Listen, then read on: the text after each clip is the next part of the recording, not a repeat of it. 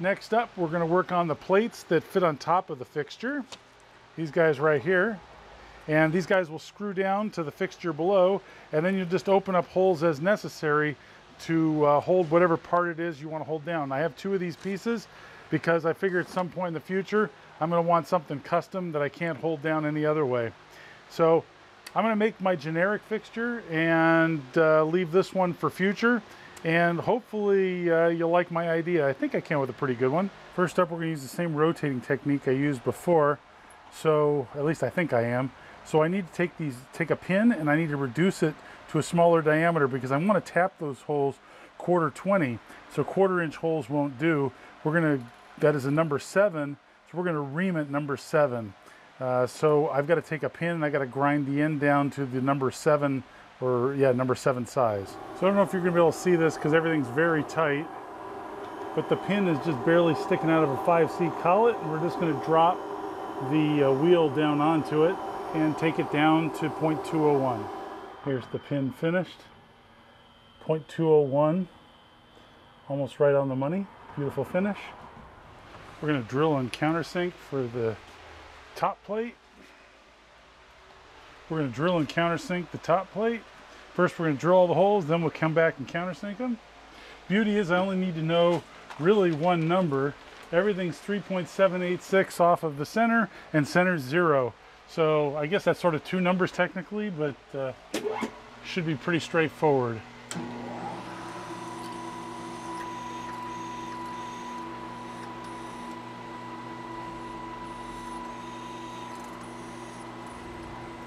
Countersink to point two.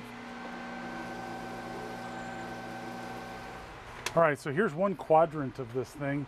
And I'm basically gonna have a bunch of little hold down holes. Each one can be sealed up individually. This is gonna be drill and ream for number seven, which is a quarter 20 tap drill. And uh, the reason I'm doing that is because uh, that will allow me to initially have a rotation point. The reamed hole will be a good center for this, and I can rotate around to to do my O-ring holes. And then when I'm done, I tap it and all is good.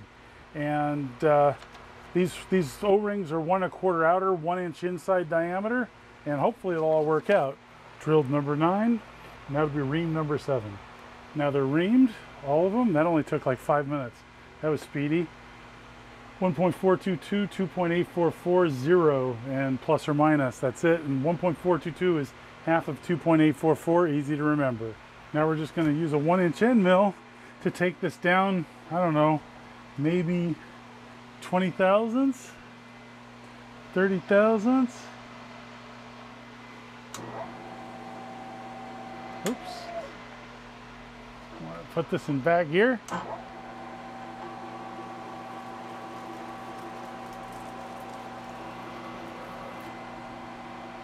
You can go a little deeper than that using my quill stop for this.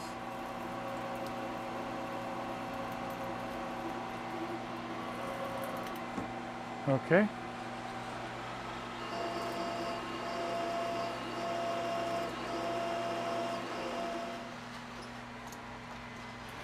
Last up, we're going to do the O-ring grooves to hold the O-rings in each one of these. And I think they're only going to be held on the outside because I kind of screwed up because the inside diameter of the O-ring is the same as size as this hole, so the inside of the O-ring won't be supported. May have been a mistake, we'll have to find that out. Um, I've got this pin to locate each one of these centers here that I drilled and reamed, and uh, that'll let me rotate around that point. However, I've got to find the center of this guy again. So to rough it in, I drop my, uh, my center, center drill here, my spotting drill, and roughly did it north, south, and east, west, or X and Y. And uh, then I want to dial it in closer.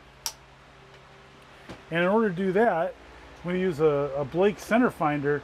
So I made this puck here that fits really tightly in here. It's got a couple tenths play as all. I made it like two tenths under is it. And uh, we're going to use this because center finding on this guy would be really difficult. So instead we're going to center find on this puck. All right, so we're within half a thousandth right there and my rough estimate was 20 thousandths and 7 thousandths X and Y correspondingly, so not terribly close, but it got me in the ballpark. All right, so call me crazy. Uh, we have a center pin here and a clamp. So the center pin keeps it from going anywhere, uh, X or Y, and the Z is controlled by the clamp. which also helps in X and Y. Uh, it's pretty tight. Um, so we're just going to go in our uh, 125 thousandths. Now the weird thing, this is aluminum, so I'm not sure how this is going to act. So we're to go for high RPM again. Since this thing really does seem to like high RPM. But my question with aluminum is what's it to do? Can we do the whole thing in one bite? That's a question. Let's try a 100 thousandths.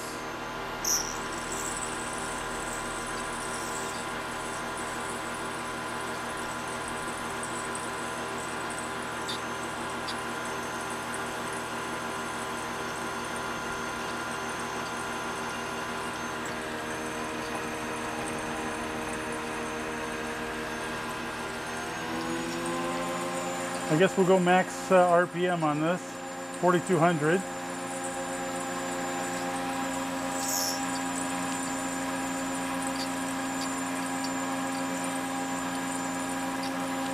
So next time I'll choose a smaller center area. That was a mistake, or I shouldn't have gone as deep. That's another thing I could have done. It would have been an improvement.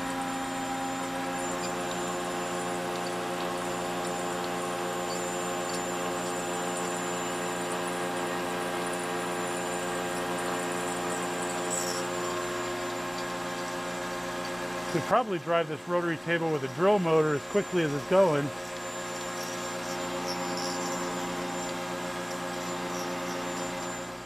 Here's the O-ring fit. It's a good fit and it looks like it'll stay in place. I think it's right. If I went out a little further, it'd stretch the O-ring. The only thing is, this leaves the O-ring a little bit proud, and I, I hope it can squish enough.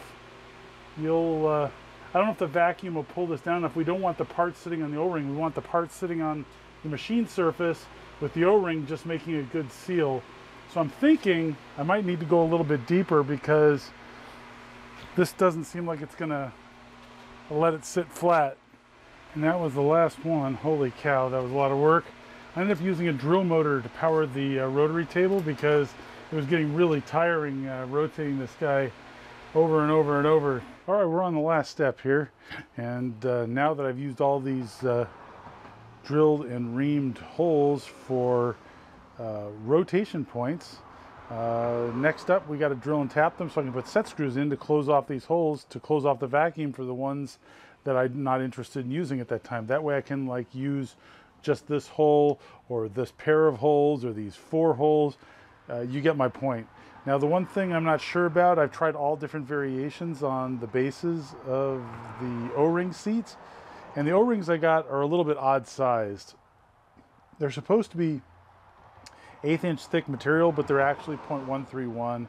Uh, they don't quite fit in this O-ring seat, so I, I, went rather than going down 110 thousandths like the manufacturer of the bit suggested, uh, Pierson Work Holding.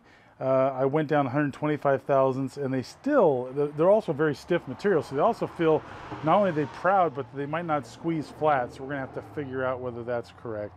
But I'm gonna use my tapping machine here. We're gonna take the old tapping head and uh, we're going to tap all these holes because uh, manually, boy, that would really uh, be a bummer. I'm not a big fan.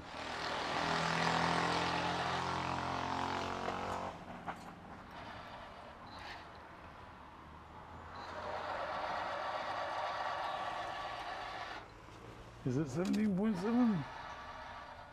There it is. Yeah, about 17.7 is good. Gotta tell you, he's making quick work of it though.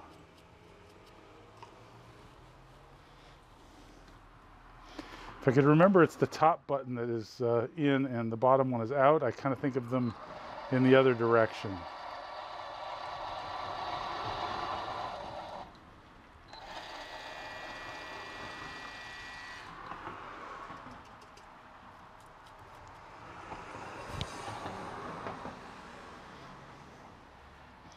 Be honest, I'm tempted to rewire the handle on this guy.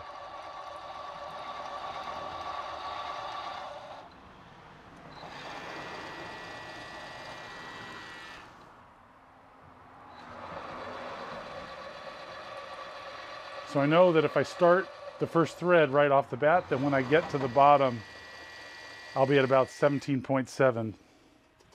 Now, if I don't press down so it doesn't engage, this thing just pretty much counts revolutions. So I'll be off, but as long as I'm paying attention, it seems like this is growing swimmingly. Last hole. It's been like five minutes. I probably would have been on the second or third hole if I had to manually do this. And that was it. We're done. 25 holes. All right, so here we are at the end. And I've used set screws in the bottom of some of these to plug these up. The center nine are empty at the moment. Uh, maybe that'll be more obvious, I don't know. But the set screws are just used to keep, you know, the vacuum from leaking when you're not using it. These bottom side, I experimented with three of the holes and the experiments failed on two out of the three. Uh, the, the O-rings don't seat very well and they pop out. So I probably should have uh, recut those before I drilled, uh, before I tapped these. I didn't realize it. I had to deburr it and uh, didn't discover it until too late. Uh, the rest of these, the O-rings sit okay. These are very stiff rubber, a lot harder rubber than this stuff over here. So I'm not sure how well they're going to compress. Now the steel plate can be held to the surface plate uh, magnet. I'm sorry, the steel plate can be held on the magnet on the surface grinder and used as a magnetic as a vacuum chuck all by itself for parts that are at least as big as the outside perimeter here where the gasket is. Uh, for smaller parts, that's where this one came in. This was sort of an experimental approach and I wasn't sure how well it was going to work. I'm still not sure because I, these O-rings again are very, very firm. They need to be a softer material, I think. So the bottom O-ring seems to have compressed pretty nicely. Uh, I've beveled both sides of this so you can't really see the fact, but I can't even get my fingernail in there, so it did press flat.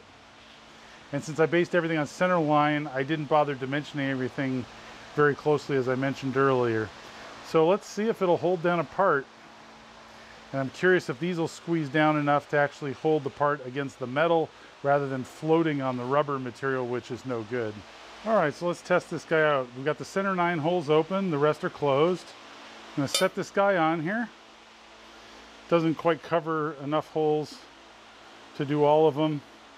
I don't know if this is gonna pull flat. That's a pretty far way down, but let's see what happens here. Let's turn a vacuum pump on.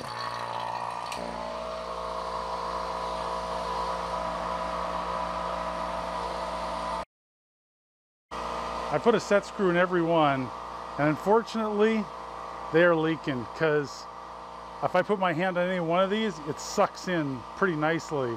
So there's a lot of air getting around the sides of these set screws. So that was a fail. Um, I thought that would work better. I guess I should have not uh, tapped all the way through so that they could tighten to the bottom. Then maybe the threads would be tight enough to seal better but this is not a good seal. Yeah, that holds a little bit there, just from leakage, no less. That's just not very good. So we're going to take this plate off. We're going to try just the base piece, which I think is making a good connection. I got this big piece of uh, 1095 spring steel here, and we'll just see if it sucks down pretty well. All right, let's test this guy. Yep.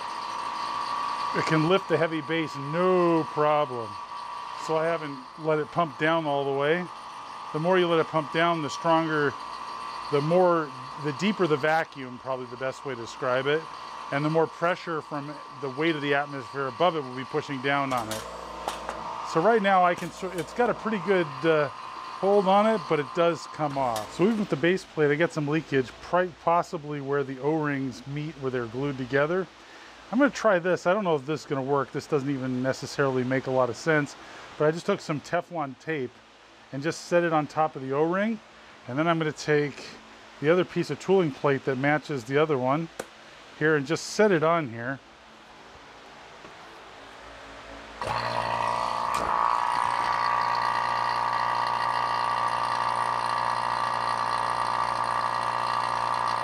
And it just leaks. It just leaks. I gotta say, this one's on there. I can't peel it off, but the moment I turn it off, the vacuum leaks away. Oh, yeah, vacuum leaks away very quickly. So I'm not sure where the leaks are.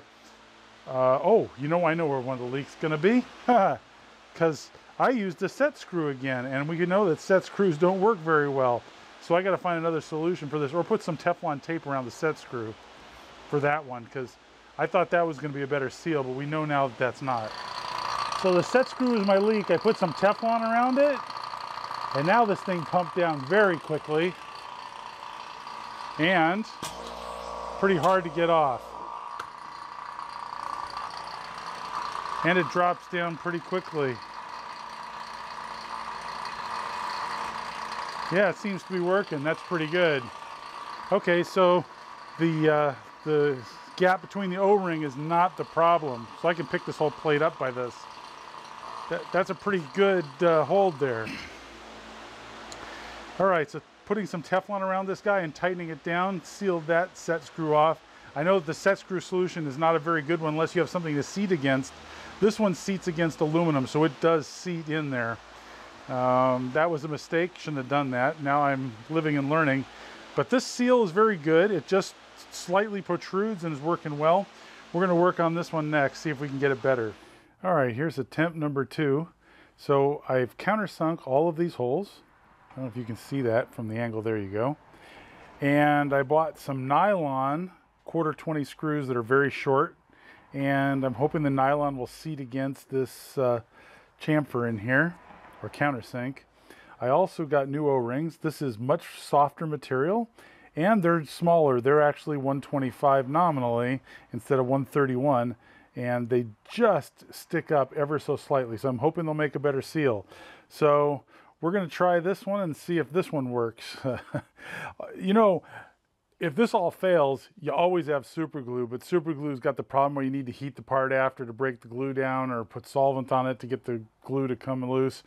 So super glue has its own issues. I think it'll hold ultimately better than this. Remember, uh, atmospheric pressure at sea level is about 14.7 pounds per square inch.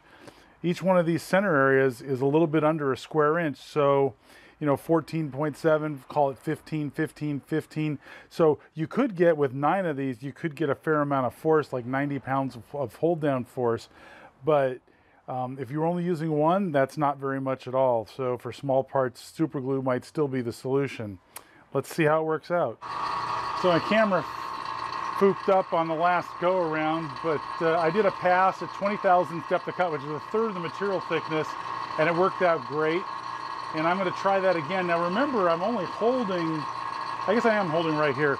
So we're going to take a slow cross feed and see if we can cut this without pushing it around.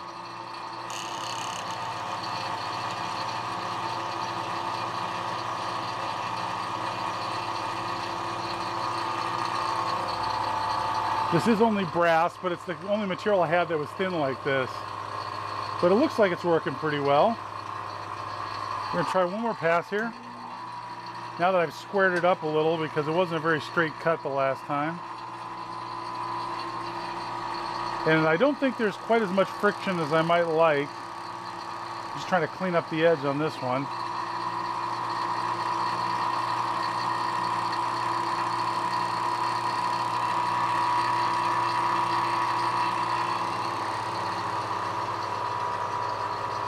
Doing a pretty good job. I'm uh, engaging about 75% of the cutter on this quarter inch end mill right now with a reasonably fast feed rate. And it's not slipping at all, which is good.